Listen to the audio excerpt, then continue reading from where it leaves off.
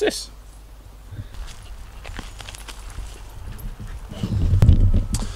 What is up my bodyweight warriors and welcome back to another video.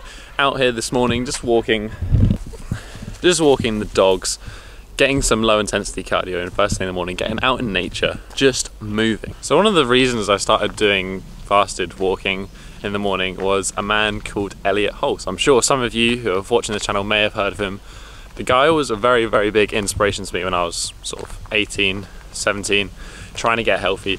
Uh, I used to get up, walk before school, walk the dog, listen to some audiobooks, listen to some podcasts, just like the man himself. But it is, it's just a nice way to start the day and it can really change your life.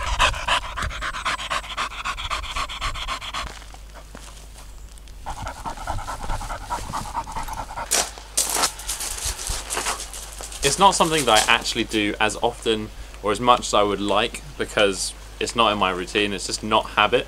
But over the next 30 days, I kind of want to build it into my daily routine and make it into part of that daily practice. So if you want to join me, let me know down below if you are and tag me on Instagram in a story or something if you do actually do it.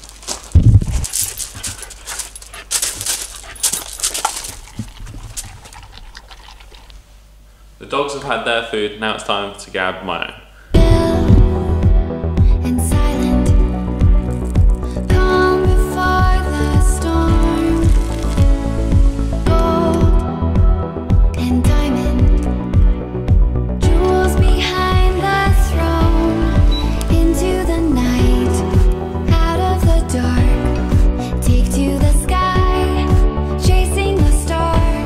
first meal is done.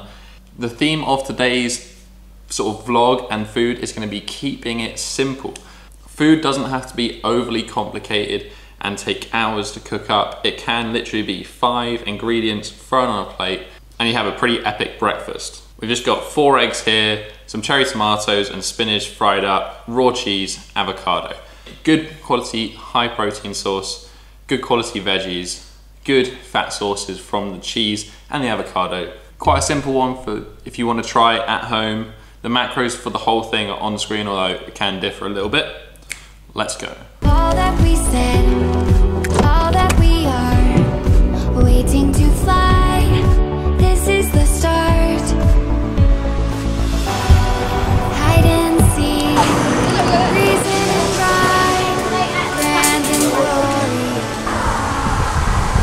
So I'm just running some errands this morning. I had to post some t-shirts, get some of my car fixed, grab some food, just boring little bits and bobs that take up time.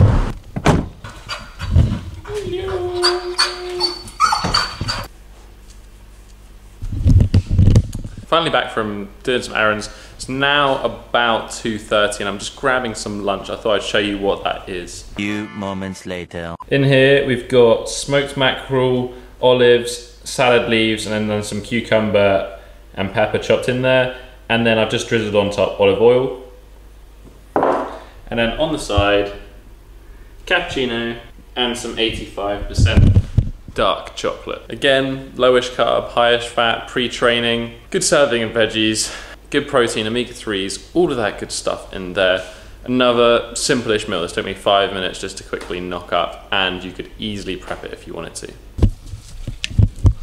It is now like 5.30 and it's time to train. So I've got the usual pre-workout BCAAs, glutamine. I'm gonna sling some rings up in that tree. We have the IKEA boxes as well for a good old upper body session.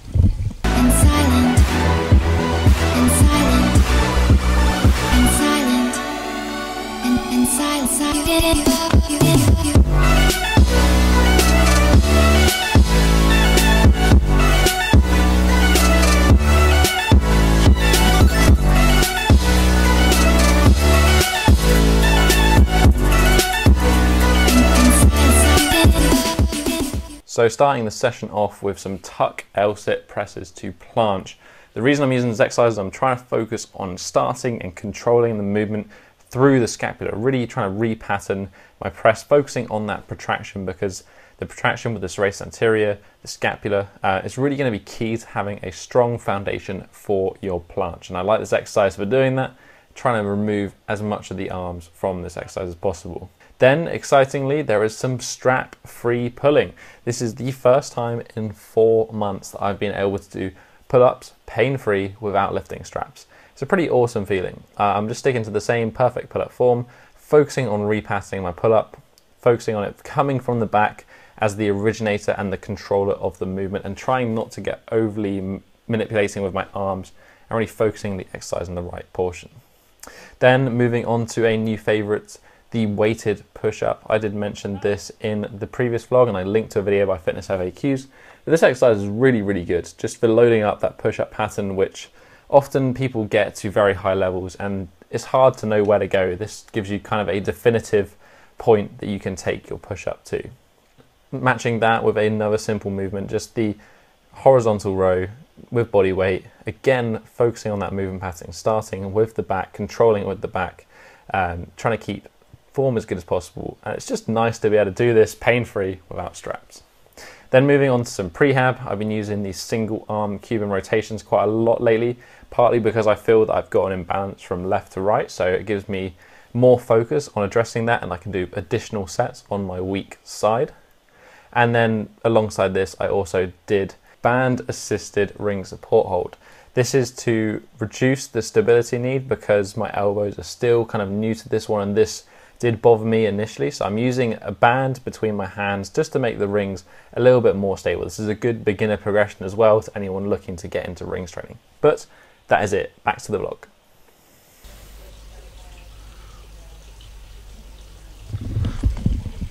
Just finishing up with some wrist rehab. I'm still continuing that now onto more of a strengthening phase, just making sure that the injury doesn't reoccur and those forearm flexors are stronger than ever. That is basically the workout. As you saw from the previous episode, it is very similar. I'm still in the same phase of training, slowly progressing to lower reps, more strength work, harder progressions, to really just to keep loading the elbows progressively until we're back to where we were. Anyway, enough training, now for some food.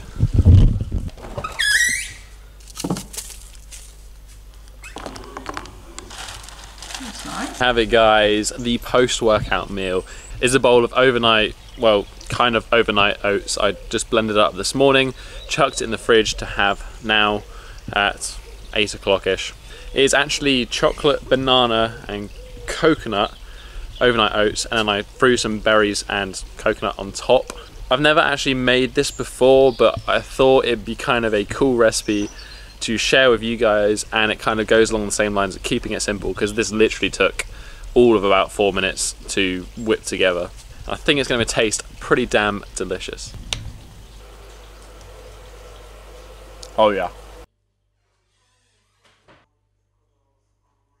Unfortunately, it is like nine o'clock now, which is just, to be honest, is too late to be having like a full meal especially the size that this one is, like 150 grams of rice. It's, it's kind of got in the zone earlier, got a bit carried away, and then kind of didn't train a little later. So everything just gets pushed back. But all macros were hit for today. Pretty high calorie day, probably more than usual. As I've said before, looking to grow, hopefully going to be gaining some mass. I definitely have gained a little bit of mass, but still, still want to put on another kilo or so. I'll probably now go reply to some YouTube comments, go reply to the Facebook group, which, if you're not a member yet, I will link down below. But that is it for this week, guys. If you have any questions about today's episode, you know what to do. Leave a comment down below. If you just enjoyed this episode, hit that thumbs up button and support the channel.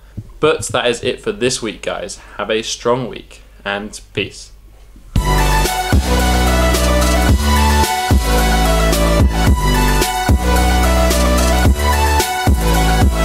you